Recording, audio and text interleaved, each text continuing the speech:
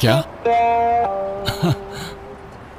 इंतहाई अजीब मशीन है। अच्छा लगता है मुझे कि तुम्हें मज़ाक बहुत पसंद है। चलो मज़ाक करते हैं, लेकिन एक काम करो कि कार्ड रिटर्न कर दो, वरना मुझे पैसे दे दो।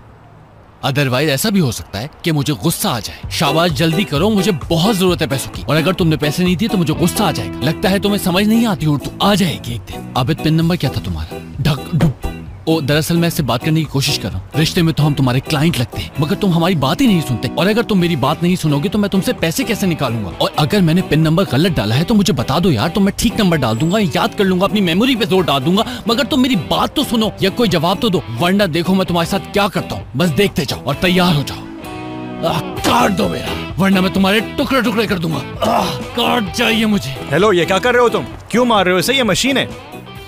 ये तो पता है मुझे। लेकिन ये मशीन अजीब है मेरा कार्ड वापस नहीं किसी क्लर्क को बोल दो निकाल के दे देगा तुम्हें।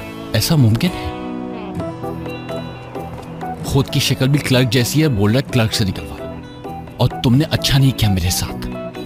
छोड़ो छोड़ूँगा नहीं याद रखना अरे भाई क्या लिख रहे हो? घंटा हो गया तुम्हें लिखते हुए। ऐसा भी क्या लिखे जा रहे हो? कोई किताब है क्या? अरे अरे मैं पहले आया हूँ पहले मेरी बारी है। तुमने मुझे बताया नहीं कि मेरा कार्ड कब दोगे। तुम आराम से लिखते रहना मुझे मेरा कार्ड वापस कर दो फिर जो तुम्हें लिखना हो लिख लेना वरना घर जाके लिख लेना। कार्ड दे दो मुझे इस कार्ड पर किसी और का नाम है तो ये कार्ड उन्हीं को दिया जाएगा।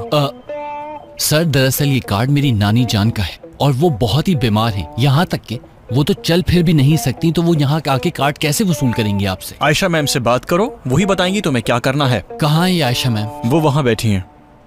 हसीन है। तो क्या अपने कार्ड के बदले मैं उनको अपने साथ ले जा सकता हूँ? मज़ाक कर रहा हूँ। आयशा आयशा माई बेबी मैं आ गया। हाँ भाई क्या हाल है? फरमाइए क्या मदद कर सकती हूँ मैं? तुम्हारी आँखें बहुत ही हसीन हैं तुम मेरा नंबर रखो और जब चाहो। तुम मुझे कॉल कर सकती हो और मुझे तुमसे एक बहुत ज़रूरी काम भी है। दरअसल तुम्हारी ब्रांच के बाहर जो स्टूपर्ड एटीएम मशीन लगी है उसने मेरा कार्ड खा गई और सिक्योरिटी वाले कार्ड वापस नहीं कर रहे मुझे।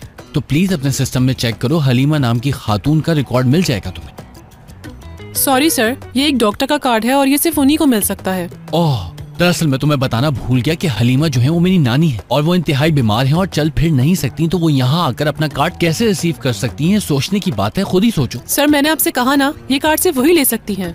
वैसे एक बात बताऊँ कि तुमसे बात करते हुए लग रहा है कि बात करता रहूँ मैं। एक्चुअली प्रॉब्लम ये है कि मेरी नानी जो है वो चल फिर नहीं सकती बिल्कुल भी। ये बात मैंने तुम्हें पहले भी बताई है और वो नहीं आ सकती। और हो सकता है कि उनका इंतकाल हो जाए किसी भी वक्त। उसकी जिम्मेदार तुम होगी। अगर जर्मनी होता ना मैं तुम लोगों को कोर्ट तक ले जाता। बस बहुत हो गई मेरा कार्ड नहीं करो तुम यहाँ और तुमसे तो मैं बिल्कुल भी बात करना नहीं चाहता तो अपनी हद में रहना। जाओ यहाँ से। हाँ तो मैं यही कह रहा था की मेरा कार्ड मुझे वापस कर दिया जाए वरना मैं तुम लोगों को कोर्ट तक ले जाऊँगा। तुम लोग मुझे जानते नहीं हो मैं किसके लिए काम करता हूँ? और मैं अपनी नानी के पैसे लेके जाऊँगा, अपना कार्ड वापस लेके जाऊँगा। अच्छा मेरी बात तो सुनो, मेरे पास बिल्कुल भी पैसे नहीं है। मुझे घर जाने के लिए थोड़ी सी रकम दे दो, मैं तुम्हें बाद में लौटा दूँगा। और अगर तुम मुझे नहीं दोगे तो मैं तुम्हें ऐसी बदुआ दूँगा की तुम मुझे कभी नहीं भूल पाओगे।